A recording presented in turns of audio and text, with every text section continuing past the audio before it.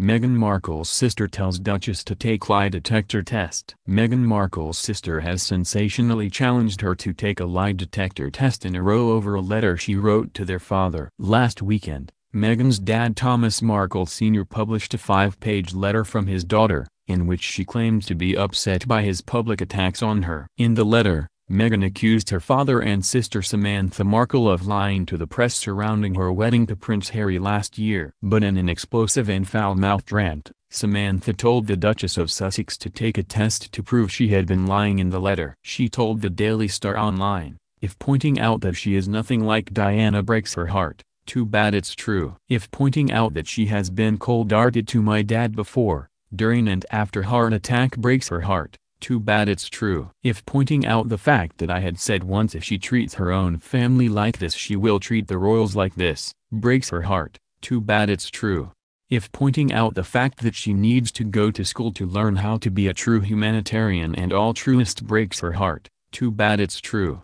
If pointing out the fact that that letter was a manipulative lie breaks her heart, too bad it's true. She says she doesn't know me and she lied and said she was never close to my dad if pointing out that what she says are all lies breaks your heart. Too bad because what I'm saying is the truth.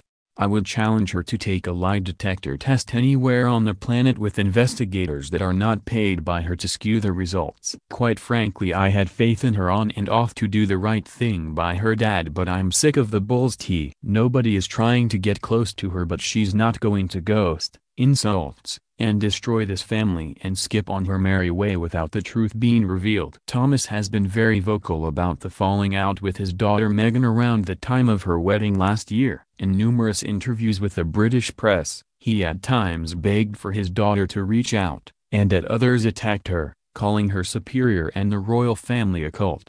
The letter emerged after an anonymous interview given by five of Meghan's closest friends with People magazine last week where they revealed their concerns about the rumors around Meghan.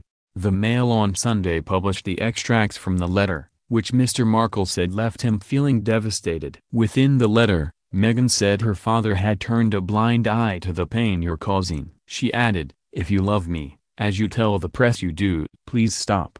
Please allow us to live our lives in peace.